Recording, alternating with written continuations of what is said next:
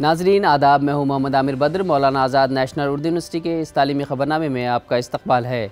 आइए सबसे पहले नज़र डालते हैं आज की सुर्खियों पर। वज़ी अजम ने एक भारत श्रेष्ठ भारत के जज्बे को मुस्तकम करने में युवा संगम की कोशिशों को सराहा।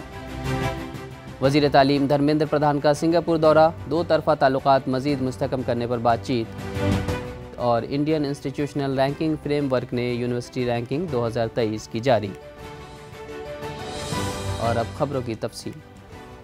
वज़ीर अजम नरेंद्र मोदी ने नौजवानों में एक भारत श्रेष्ठ भारत के जज्बे को मुस्तकम करने में युवा संगम की कोशिशों को उजागर किया है।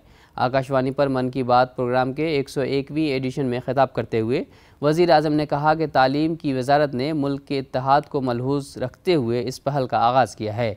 युवा संगम के पहले मरहले में तकरीबन एक हज़ार दो सौ नौजवानों ने मुल्क की बाईस रियासतों का दौरा किया। उन्होंने पानी की बचत करने की ज़रूरत भी दोहराई और इस सिलसिले में आवाम की कोशिशों को उजागर किया। मुझे युवा संगम के विषय में भी जानना है। मुझे बहुत ही ज़्यादा खुशी है उस प्रोग्राम में पार्ट लेने की और मैं तहे दिल से आभार व्यक्त करती हूँ आपका कि आपने हमारे जैसे युवाओं के लिए इतना बेहतरीन प्रोग्राम बनाया जिससे हम भारत के विभिन्न भागों के कल्चर को अडेप्ट कर सकते हैं। वज़ीर अजम नरेंद्र मोदी ने कहा कि 21 जून को योगा का आलमी दिन मनाने के लिए मुल्क और बैरून मुल्क में तैयारियाँ जारी हैं। तालीम और हुनरमंदी की तरक्की में दो तरफा रवाबित के दायराकार को वसी करने और मौजूदा ताल्लुक को मज़ीद तकवीत देने की गर्ज से मरकज़ी वज़ीर तालीम धर्मेंद्र प्रधान ने सिंगापुर का दौरा किया और अपने हम मनसब वज़ीर तालीम चंचुन संघ से मुलाकात की। सिंगापुर में तीन दिन के दौरे के दौरान धर्मेंद्र प्रधान ने दो तरफा ताउन को मजीद मुस्तकम करने, तालीम और हुनरमंदी की तरक्की के तमाम शोबों में रवाबित को गहरा करने पर गुफ्तु की। उन्होंने स्कूल की सतह से ही हुनरमंदी और पेशा वराना तालीम के मैदान में सिंगापुर की शराकत दारी का भी जायज़ा लिया। वज़ीर तालीम ने कहा कि भारत और सिंगापुर जैसे कुदरती इतिहादी बाहमी और आलमी खुशहाली के लिए मिलकर काम करने के लिए पुरज़म हैं। इस दौरान जनाब प्रधान ने स्किल्स फ्यूचर और Singapore university of technology and design का भी दौरा किया। स्किल्स फ्यूचर सिंगापुर में मैार तालीम और तरबियत के माहौलियाती निज़ाम को मज़बूत करता है।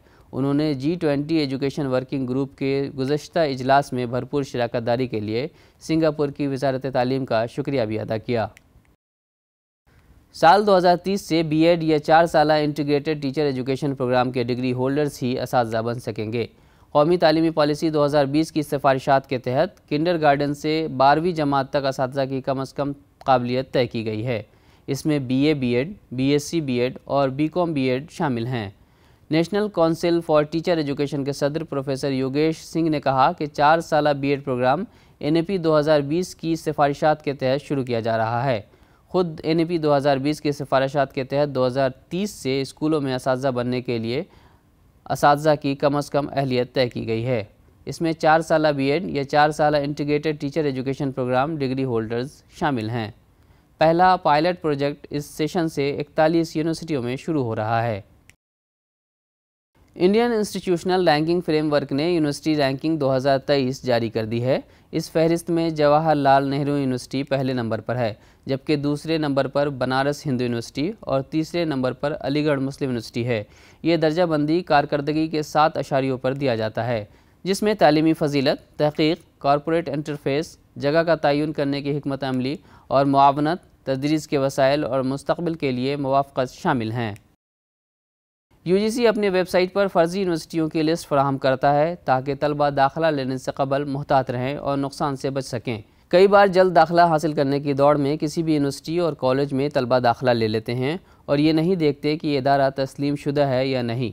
बाद में अगर कॉलेज फ़र्ज़ी निकले तो माली नुकसान के अलावा तलबा की ज़िंदगी का कीमती वक्त भी ज़ाय हो जाता है।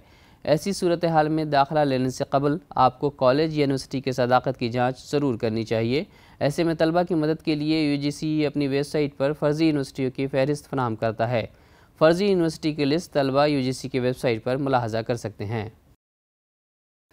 मौलाना आज़ाद नेशनल उर्दू यूनिवर्सिटी के शोबा अंग्रेज़ी और national translation mission central institute of Indian languages Mysuru की जानब से एक बैन अवी कॉन्फ्रेंस का इनका किया गया।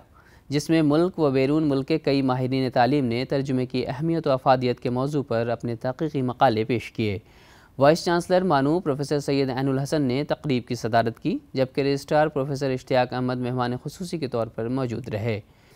Professor Anisur Rahman professor Harish Narang, professor Panchanand Mohanty, professor Haribandi Lakshmi ने भी इस मौके पर खिताब किया।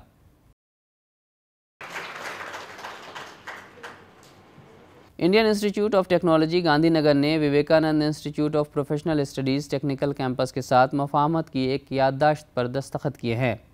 ये शराकत दारी एक स्ट्रेटजिक शराकत दारी कायम करने के लिए तैयार की गई है, जो इन्फॉर्मेशन टेक्नोलॉजी और मुतल शोबों में जिद्दत तराजी, इलमी फजीलत और तहकीकी ताउन को फ़रोग देने पर मरकूज़ है। इस माहे के तहत इदारे विवेकानंद इंस्टीट्यूट में बैचलर्स मास्टर्स और डॉक्टरेट प्रोग्राम भी शुरू करेंगे। इंटर्नशिप प्रोग्राम, खसूस तरबती प्रोग्राम, फैकल्टी सपोर्ट, बुनियादी ढांचे की तरक्की में रहनुमाई और बाहमी दिलचस्पी के मौजूद पर सेमिनार्स, कॉन्फ्रेंसेस, वर्कशॉप भी मुश्तर तौर पर मनद किए जाएँगे। इसराइल की Ben Gurion university of the Negev तालीमी साल 2023-24 के लिए कम्युनिकेशन सिस्टम इंजीनियरिंग में अपने एमएससी प्रोग्राम के लिए दरख्वास्तें तलब की हैं। कोर्स अक्टूबर में शुरू होगा। इसराइल में तालीमी साल अक्टूबर से जुलाई तक है। एमएससी प्रोग्राम के लिए ट्यूशन फ़ी तकरीबन पाँच हज़ार डॉलर फ़ी साल है। दरख्वास्त देने के लिए तलबा को सौ में से कम अज़ कम अस्सी के जी पी ए के साथ किसी तस्लीम शुदा इदारे में कम्युनिकेशन सिस्टम इंजीनियरिंग या करीबी मुतल शोबों में बी एस सी की डिग्री की ज़रूरत है। मज़ीद तफसलत के लिए मुतल वेबसाइट मुलाजा कर सकते हैं।